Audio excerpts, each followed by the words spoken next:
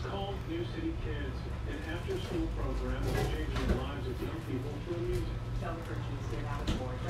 New Jersey-based organization has been in Grand Rapids for the past five years, providing hundreds of entertainment and musical talent. If we don't go, uh, if we don't have a lot of people live, that's fine. Everybody's probably getting out of work right now. What's up, John? Hey, John. Lucas. Your Hey, dad's Dad. Lisa. Hey, Lisa. James. Hey, James. Oh, I guess we did do the right thing by going earlier.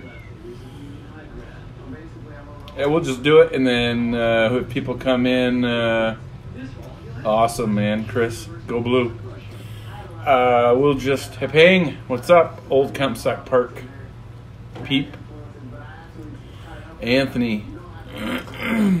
so we were in Grand Haven today, and we went out by the pier and walked around town a little bit, and then we went into a candy store that was out there, and they had these hotties. They're called Jolly Rancher makes them. I don't think they'll be hot, but we wanted to try them because I've never even heard of these.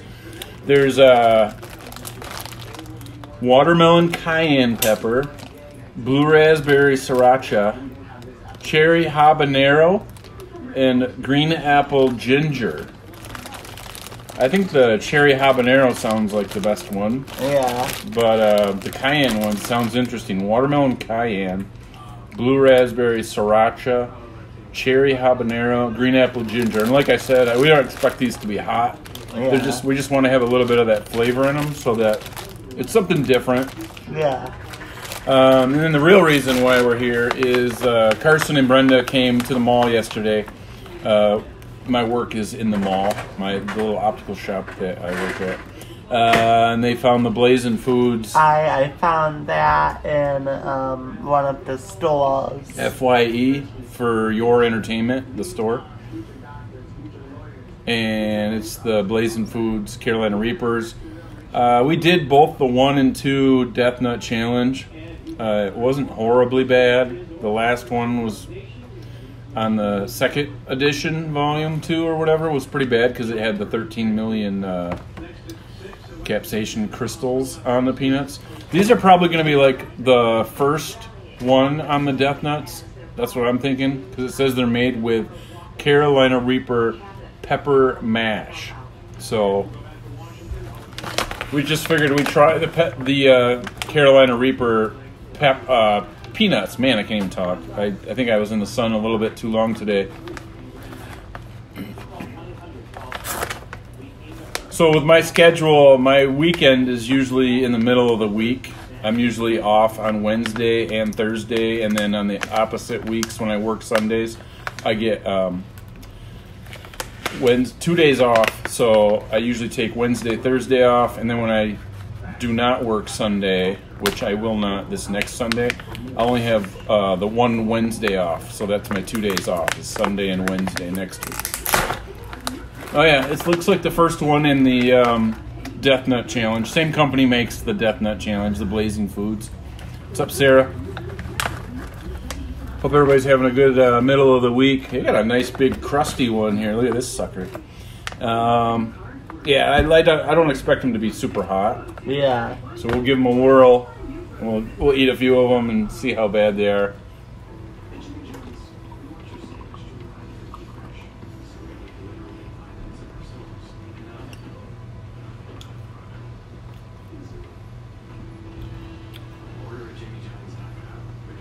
Really big ones too. They have really good flavor. Mm-hmm. You definitely get a little bit of that burn, a little bit of Carolina Reaper burn in your back of your throat. It's not an uncomfortable burn. It's very like, like barely a two, I would say. Same here. Um, what's up, Russ? Uncle Russ? John? Um, it doesn't get your. It's barely a two. Barely a two. yeah. I'm gonna say a good one and a half, maybe. Same here. Someone that doesn't eat hot stuff, this would probably be like a five or a six for them, because again, it is made with the Carolina Reaper pepper mash, um, and it's the same company that makes the Death Nut Challenge. We did both Volume One and Volume Two. So it's like the number, the first one that you get in the challenge. So Yeah. you can definitely get a little bit of a throat burn, but Yeah. like I said, it's got more flavor than anything. Yeah. I can eat these as like a snack Oh, yeah, because yeah. I'm so used to I'm so used to it. I would compare it to the uh, like the ghost pepper Paqui chips. It's not here you go. Thank you. It's not super uh, like oh god that's hot. You know, it's not that hot. Really good flavor. Yeah. It's almost like a glaze that they put on them. Yeah, I noticed that It's myself. real creamy. So when you get through that sugar glaze that's on these, use your smell-o-vision. It's like a Krispy Kreme donut, and then it gets hot. Um, yeah, it's like the first peanut in the Death Nut Challenge. So it's got heat, but I call it like Paqui Ghost Pepper Chip heat. Yeah, same Someone here. that doesn't like hot stuff, they'll probably be like five or six on the one to ten heat scale. It's barely a two for us. Like I would say, like one and a half. Uh, but like I said, real good flavor. I mean, I could eat these as a snack. Same here. So we went out to uh, Grand Haven today, out by Lake Michigan, and uh, super nice weather today in Michigan. And I think it's like in the Midwest, it's like that nice today. So mid 70s, perfect. You could like when you're rolling through town, just have the windows down. When you get on the freeway, though, you probably want to have your air going. They had um and when we found the Jolly Ranchers, uh, we found this really uh, big candy shop and that's where we found Yeah, those look interesting. The hotties. hotties. Jolly Rancher hotties. hotties. So I'll go over the flavors because some of you guys just bumped in here. Uh, watermelon cayenne pepper, blue raspberry sriracha, cherry habanero, which I think I'm looking forward to the most, Yeah. and then green apple ginger. I'm actually gonna. We might as well just try one since Yeah. we're already doing a video. Uh, if you guys want to buy these, though, they have them at, at most stores. Uh, some even uh, some of my friends on here, chili heads like Christian uh, Joquila, I think this is his last name, um, says they have them at Cabela's or Bass, the Bass Pro Shop. Uh, again, they're made by Blazing Foods. They're the ones that make the Death Nut Challenge. Him and I, Carson and I, compared them to the uh, first level of the Death Nuts. and um, and you you can also find uh, these guys in specialty stores. Right. And you can even order. There's a gift kit I saw online that's like 50 bucks, free shipping. Comes with a T-shirt. Uh, sorry, there was a phone call that came in there. I thought I had my phone turned off. Uh, T-shirt, the Death Nuts, both of them, and then this bag, and along with uh, I think there's like a super hot jerky or something in there. So I'm gonna go for the cherry habanero. What one are you gonna do? The um, watermelon the cayenne. same. Try something different, so we can Yeah. both we can both kind of say what we got. That's the one I got, I think. See if that watermelon. Watermelon one. Yeah, the watermelon cayenne. That's blue raspberry sriracha. Yeah, let's see how this is. I don't think sriracha's hot though, but Oh yeah. see if they got watermelon in here. Here it is, watermelon cayenne. Ah. So this is the cherry habanero. And cherry is my favorite flavor, by the way. For um, what's up, Carl? Go and blue. This is the watermelon cayenne. Yeah, cherry habanero and uh, watermelon cayenne. So they had these out in Grand Haven. At, um, it was like a specialty candy store. So let's give her a whirl.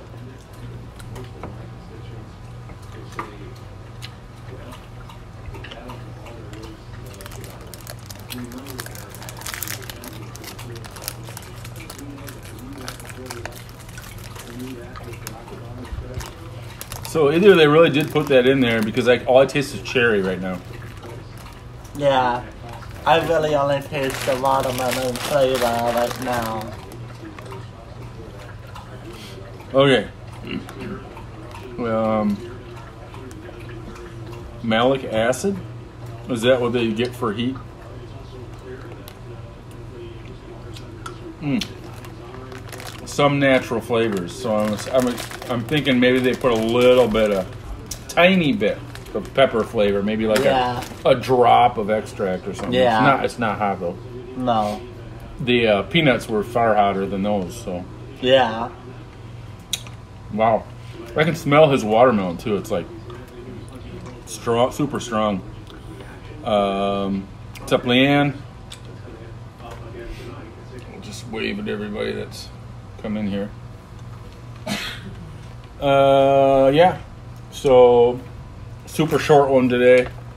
Again, this is the Blazing Foods Carolina Reaper Peanuts. You can buy them at FYE, which is uh, for your entertainment store. You can get them at Bob's or Bass Pro Shop, whatever it's called. Uh, what's up, Bridget? And I would compare them to like the first level of the Death Nuts. Um, they're more sweet than they are hot. They have a really good like a, I call it like a Krispy Kreme glaze on them. Yeah. So these would be like great just for like a snack, just to sit down and eat like a handful at a time. And not much else is going on right now. We are um, halfway through summer, unfortunately. I don't ever want summer to end. My nose is running a little bit, but I think that's from I had like chili earlier, and I think chili even like triggered my nose to run. My sinuses are kind of going crazy right now. But uh, we hope you're all having a good week. We wanted to come and do a quick one today when um, I'm on my two days off here, today and tomorrow. What's up, Jim? What up, Jim? So, we figured we'd do a quick review of the Blazing Foods Carolina Reaper peanuts. Again, they're made with the Carolina Reaper pepper, the Carolina Reaper pepper mash. So they're about Paqui ghost pepper hot. They're not super hot. For a non-chili head, they're gonna, you know, go in the five, six range, maybe higher. I don't know. Some people seem to think that things are super hot and they're not. And the Jolly Rancher Hotties, which I will say it's not just tastes like reg- regular Yeah. Jolly Ranchers fact, to me. All I taste is cherry Jolly Rancher. That's it. So that's a little bit of a letdown on these. They just marketed badly. Uh, they had to put list names of peppers on there to say that they're spicy, but they're not spicy at all, guys. You guys, anybody could handle that. Um, we have done everything from fresh peppers to tinctures to extracts. Um, the biohazard, Chips. yeah, that we've done the chips. The the tincture is probably the hottest thing that we've done. The biohazard, along with the uh, uh, what was it called? The um, The end. the end was six million, but that had a like a little different taste to it. Um, there was another one, another extract that we did that was like felt like more than the end. I can't think of it right now. Um, Satan's blood we did. We did the evil wick, wicked something. It was the two million Scoville dripper. Yeah. I actually touched my corner of my eye with after putting the cap back on that dripper, and there was some of that capsaicin extract, and it like burned me for like four hours. What's up, Chase? Another another thing we've done in the There's Denny. previous. There's Denny. Denny's uh, pretty much responsible for all the first few episodes we did. He did uh, supplied us with all kinds of crazy uh, PuckerButt stuff. We've also done the chocolate bar, hmm the hot chocolate bar. There's no pepper flavor at all No, in these uh, hotties, Jolly Ranchers. no, not at all. Uh, Carson did the watermelon cayenne pepper. I did the cherry habanero. It's called, Yeah. but it's just straight. Tastes like a cherry Jolly Rancher. It's I don't taste I don't taste nothing except a Jolly. Rancher. So, like I said, short video today. Just wanted to pop in here, say the Blazing uh, Carolina Reaper peanuts are amazing. They have great flavor, not hot. Some of you people might think they're hot, but it's like a one and a half for Carson and I. Really good flavor. Think of a Krispy Kreme donut, and then it gets a little bit spicy after you get the glaze off it. Very, Yeah. very good flavor. And it's um, it's not too bad once it gets spicy. It's, I did these are so good. I could probably eat these as a snack. Right? Uh, yes. Uh, your teacher, Teresa. I was growing my beard out, and then my boss, my regional boss, came to see my store yesterday. So I was just cleaning up the stragglers, and I actually, I made a mistake and went, took off a whole chunk on one side. So I had to like trim it down to um, just stubble. So that's what happened to my beard. But uh, yeah, I don't feel like I got any sun. I think it's just the way this light is above us. But Yeah. we uh, went out to Grand Haven today, and it was a good time. yeah, Brenda- it was. Brenda and Carson and I walked on the pier a little bit, or on the channel. I'm sorry, and then went up to some of the stores and the businesses, and then we ate before we came back into town. And There was a small museum, almost kind of like a walkthrough of like Michigan history. I just got took a little bit, walked around. he got a little sidetracked. His mom had to go after him in a minute. But um, yeah, I know um, we like it out in Grand Haven a lot. My parents uh, lived out there for a little bit, and they ended up having to move back here uh, years ago. They, my mom went through some stuff uh, with not too much of a story on that, but uh, she had brain surgery, and we're glad that she's still with us. So Yeah, they're now back in uh, Comstock Park, and it's a little closer for us, anyways, when we want to go visit them. So, yeah. but uh, hey, Lisa, hope all is well. Yeah, you guys can probably see it in my neck, and then even in just my arms. I'm like dropping weight super fast right now. My I'm- inches in my waist, I think I've gotten three inches lost now. So I need a belt. I'm starting to kind of get a tan as you kind of see in my arms. I'm not sure if the camera shows, but I'm sure he's going back out there with his grandfather tomorrow, so he'll probably get more sun yet. Uh, Brenda and I and Carson have a doctor appointment in the morning, and then I'm not sure what Brenda and I. Well, Brenda and I have to go and get my ghost pepper plant. Mitchell Owens has a ghost that's like got pepper pods on it already, and I was supposed to go get it. There was a miscommunication on my part. I didn't realize he wanted us to go and get it at his house and bring it back here and grow them. I thought he was just letting me know that he was growing peppers for us again, like he did last year. All our peppers, almost all of them, aside from Denny Porter, uh, and then some of the stuff from uh, Doug Canada and Jay Savage. Uh, Mitchell Owens did a lot of our growing peppers for us. He did a lot of habaneros, a lot of fruit um, baskets of fire yeah. those little red ones that about lit us up.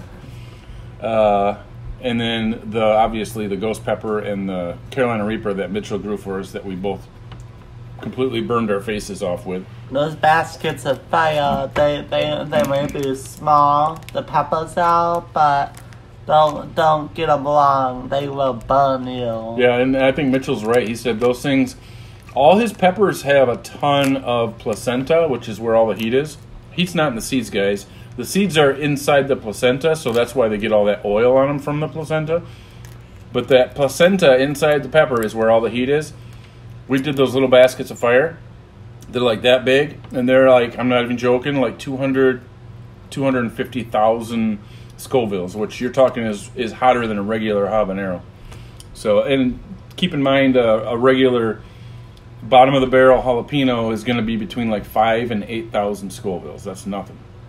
So, The, so those, the point is, when it comes to peppers, size doesn't count. It's the, it's the, uh, unit, the Scoville unit it has. yep. And then for Guinness Book to recognize something as the hottest or the biggest or smallest or whatever, has to come in so many times in those certain ranges. So with heat, a ghost pepper for at one time in like 2012, it was considered the hottest pepper in the world, and that's because it came in between 800,000 Scovilles and 1.5 or 1 million. So it had to come in so many times of testing uh, with that Scoville unit measurement, uh, and it's like one uh, molecule of water to dilute the heat in a pepper. So 8,000 water molecules or whatever for a to extinguish the heat from jalapeno. Whereas a ghost pepper, you're talking 800,000 to a million or so. Carolina Reaper's double. It can be a two and a half million, which is double a ghost pepper. That's why we were both like sick for 12 hours after we ate a ghost Carolina Reaper. But uh, yeah, anywho, like I said, things are going good for everybody, I hope. And we are going to go get that ghost pepper plant that's in a pot. Uh, like I said, it's already got pods on it from Mitchell's house tomorrow. We will probably take some pictures of it or maybe get it on our next video and we'll show how you take care of plants. We'll do a little educational thing. Um, thanks everybody that follows us, and if you did get a chance, go to our YouTube channel, Flaming Hot Bros. Mark and Carson eat hot stuff. Love you guys. Peace out, Flaming Hot fans.